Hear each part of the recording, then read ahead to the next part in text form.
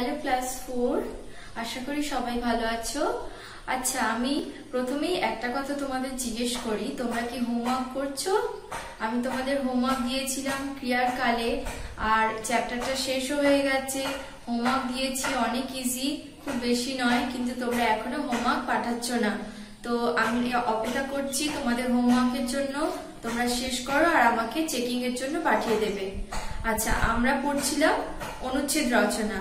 তো তোমরা তোমাদের সহজ ব্যাকরণ বই নাও, এখানে তোমরা অষ্টআশি পেজ নাম্বার বার করো। আজকে আমরা পড়ব বাংলার উৎসব। আচ্ছা বাংলার মানে আমাদের বাঙালিদের নানা ধরনের উৎসব আছে। উৎসবের আর শেষ নেই, তাই তো? একটার পর একটা আমাদের উৎসব চলতেই থাকে। শুধু এখন লকডাউনের জন্য অনেকে আমরা বার হতে পারছি না, কোনো উৎসব পালন হচ্ছে না। কিন্তু বাঙালিদের অনেক রকমের উৎসব রয়েছে, যা শেষ করা যায় না। দেখো, আজকে আমরা বাংলার উৎসব সম্পর্কে পড়ব।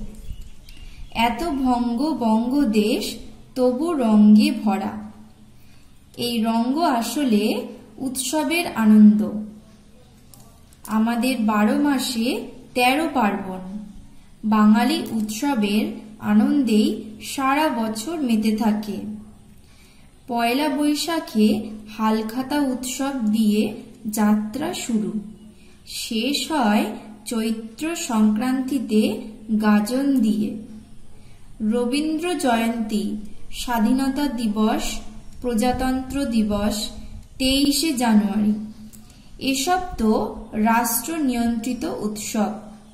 মানে সারা রাষ্ট্রের যে উৎসব রয়েছে, রবীন্দ্র জয়ন্তী, স্বাধীনতা দিবস, এগুলো আমাদের রাষ্ট্রের মধ্যে এগুলো উদযাপিত হয়।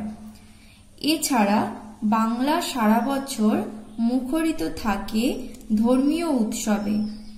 দুর্গাপুজো কালী পুজো ভ্রাতৃদ্বিতীয়া রথযাত্রা, ঝুলন, ঈদ, মহরম, বড়দিন, পৌষ পার্বণ।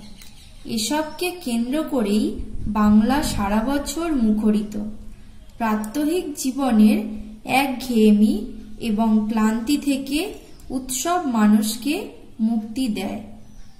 উৎসবের প্রাঙ্গণ হল মহামিলনের ক্ষেত্র। উৎসব হলে কি হয়? সকল মানুষ বিভিন্ন জায়গা থেকে মেলাতে বা সে উৎসবে তারা আনন্দ করতে এক জায়গায় জড়ো হয়। আর সেখানে আনন্দ হয় চারিদিকে।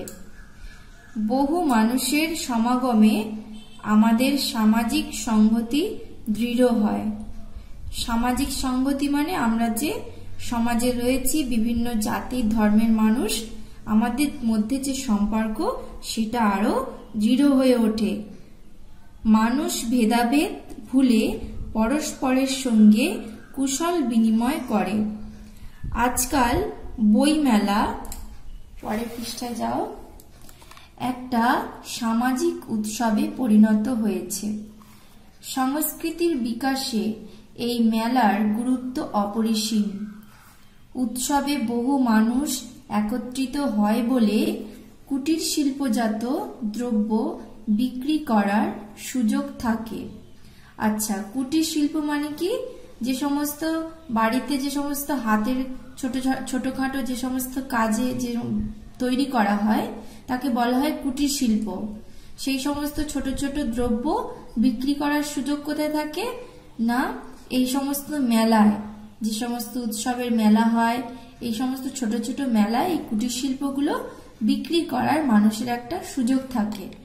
ফলে গ্রামীণ শিল্পের বিকাশ ঘটে। আর কুটির শিল্প বিভিন্ন গ্রামীণ এলাকাতেই হয়ে থাকে।